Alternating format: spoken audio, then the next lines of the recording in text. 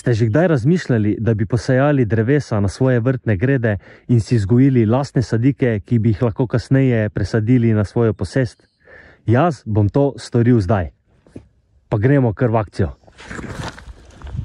Kot lahko vidite na tej gredi, imam jaz že vsejan motovilec, ki sem ga sejal jeseni in pa česen, ki sem ga potem dosadil novembra. In jaz bom zdaj preprosto semena tega kostanja sejal med česne, torej v isti vrsti kot so česni, med česne in čisto nič globoko. Ta semena bom posadil najgloblje 3 cm. Torej, če pogledate, koliko je debelo seme, to globoko ga lahko posadite.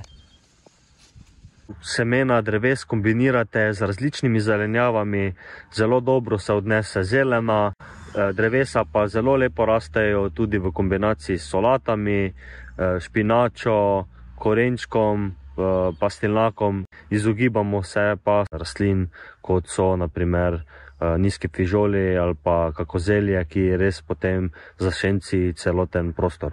Jaz vam priporočam, da kakorkoli boste sejali semena, da jih sejete v vrste, ker je potem dosti lažje vzdrževanje gred z vrtnim orodjem. Razlike med semeni pa so lahko približno 20 do 25 cm. Jaz si kar pomagam z mojo merilno enoto, tam približno 23 cm. Če uporabljamo mi gredice brez prekopavanja, ki so široke 80 cm, potem v tej razdalji lahko naredimo tri vrste. S tem si torej ne zmanjšamo prostora na vrtu, si pa lahko vzgojimo sadike, ki bodo v bodoče prinašale obilico hrane na naših posestih. Tukaj ob meni se nahajajo eno leto stare sadike, torej sadike, ki smo jih sejali lani spomladi. In ti kostanji, kot lahko vidite, so zdaj približno enih 20 cm visoki. To lahko na primer pričakujete v enem prvem letu. V drugem letu pa se potem navadno te sadike že kar raztegnejo in rastejo kar lepo visoke. In takrat so pa tudi že pripravljene, da jih lahko presadimo na končno mesto. Torej, poudaril bi, da ko mi sejemo drevesa, imamo potem leto do dve leti časa, da si razvijemo en celostni načrt, ker bomo znali potem ta drevesa tudi umestiti na prostor, kjer nam bodo najbolj koristila. Drevesa pa lahko posejete tudi na direktno mesto, kjer želite, da to drevo raste. Pa si pridite kar z mano pogledat, kakšen je lahko rezultat tega. No, tukaj stojim ob kostanju, ki sem ga sejal direktno na mesto, kjer ga želim, da raste. In kot lahko vidite, je to drevo že zdaj kar precej veliko. In od tega, kar sem ga pa sejal, je pa minilo pet let. In kot lahko tudi po teh ježicah tukaj vidite, so prvi plodovi tukaj že bili. Tako da tudi to je ena izmed opcij, ampak pri tej opciji je potrebno upoštevati, da potrebujemo že razvit celostni načrt naše posesti, ki nam omogoča, da ta drevesa umestimo na prava mesta, ki nam bojo kasneje omogočala lažje vzdrževanje naše posesti. Če imate priložnost, sejte semena na direktne površine, ker boste s tem imeli dosti manj problemov. Če pa nimate dostopa do zemlje, pa vam priporočam, da semena sejete v lončke. Priporočam vam, da so ti lončki malce bolj globoki. Torej, ne rabijo imeti nekega velikega volumna ali pa da morajo biti široki, ampak je dosti bolj pomembno, da so ti lončki dosti globoki, da lahko ta drevesa potem tudi razvijajo korenine.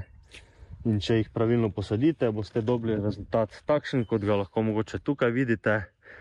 To je enoletna sadika jablane, ki sem jo sejal lani spomladi in je zdaj že lepo zrasla in je tudi pripravljena, da jo potem presadim na končno mesto.